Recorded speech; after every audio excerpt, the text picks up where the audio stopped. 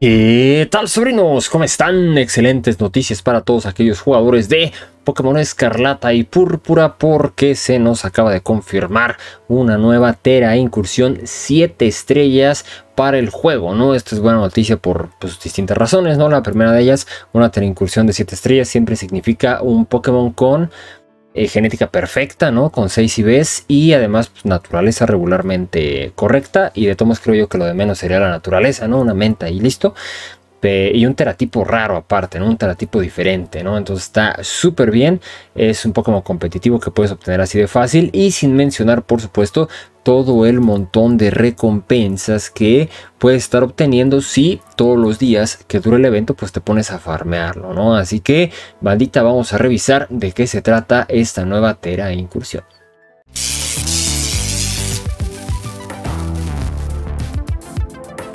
Para ello, pues aquí mismo dentro del juego bandita, aquí en la sección de noticias, pinchamos ahí el botón de más estando conectados a internet. Aquí tenemos ya la noticia super oficial. Primero estuvo circulando bastante por ahí en Twitter como manera medio de filtración, pero bueno, ya está en el juego, así que pues más oficial, pues imposible, ¿no? Eh, tenemos un Pikachu, bandita, un Pikachu por motivo del Pokémon Day, que es este 27 de febrero, aparte es un día importante, seguramente harán anuncios chidos, a lo mejor son 20 minutos nada más, pero yo espero que anuncien la fecha de llegada de Pokémon Stadium al Nintendo Switch Online del DLC de este juego, pues quizá también den alguna pistilla o quizá de futuras incursiones, no lo sé. Eh, y pues del anime, ¿no? Seguramente también habrá bastante información. Pero bueno, pues vamos a ver, ese es tema aparte. Ahorita hablando específicamente del juego, pues vamos a tener la oportunidad de enfrentar a Pikachu, el imbatible. Obviamente 7 estrellas que va a tener teratipo agua, ¿vale? Tera tipo agua, evidentemente todavía no sabemos los ataques, por lo tanto pues no quisiera adivinar con qué Pokémon sería lo más prudente enfrentarlo, porque con Greninja hubo un montón de teorías, que si Gastro, que si esto, que el otro, que no sé qué, y al final el Logro hizo la chamba sin problemas, ¿no? Aquí lo veo más complicado porque probablemente tenga ataques especiales, ¿no? Porque si este era tipo agua seguramente tendrá Surf, Surf, eh, bueno, sí, Surf, este y el logro es muralla física. Entonces, si este men, si este Pikachu va a tener ataques especiales, pues el logro podría sufrir. De si tiene ataques físicos, pues el logro va a salir al quite como siempre, ¿no? Eh, pero bueno, pues vamos a tener que esperar. El evento va a comenzar este 24 de febrero y terminar este 27 de febrero, ¿vale? Del 24 al 27 de febrero ya faltan muy poquitos días para que se vayan preparando para capturarlo, ¿vale? Pikachu 7 estrellas, eh, genética perfecta, este, contera tipo agua.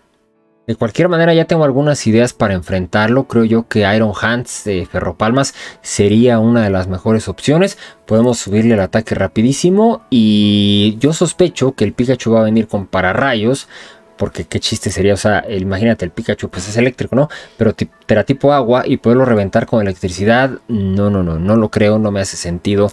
Así que ataques eléctricos estarían descartados y solamente nos quedarían ataques planta, ¿no? Iron Hands desgraciadamente no tiene, pero sí tiene puño drenaje, ¿no? Si subimos tambor y luego puño drenaje, pues creo yo que vamos a tener una constante, eh, pues fuente de daño para él y de vida para nosotros, ¿no? Esa sería mi opción número uno. Vamos a ver. Opción número 2, ¿por qué no? Un Garchomp. Garchomp es tipo Terra, ¿no? Así que vamos a ser inmunes a la electricidad. Eh, ataque hada, ataque hielo. Pues no creo que traiga, va, el pinche Pikachu. Así que tendría que resistir. Nos podemos bustear rápido con Danza Espada. Y ya solamente habría que definir qué ataque vamos a estar aplicando para pues hacer la mayor cantidad de daño, ¿no? Otra opción, ¿por qué no? La mismísima Miauscarada. Lo único que no me gusta es que siento que pues sí puede morir relativamente rápido, ¿no? Está potente, va a pegar duro, es planta, ¿no? Eh, por obviedad vamos a tener un ataque planta fortísimo para lastimar, pero eh, los bufos es donde yo la veo un poquito débil. Vamos a ver en el apartado de bufeos qué tal nos va. Y pues una opción extra que para muchos es la más obvia, pero de nuevo pues con Greninja lo mismo decíamos y ya vieron lo que pasó.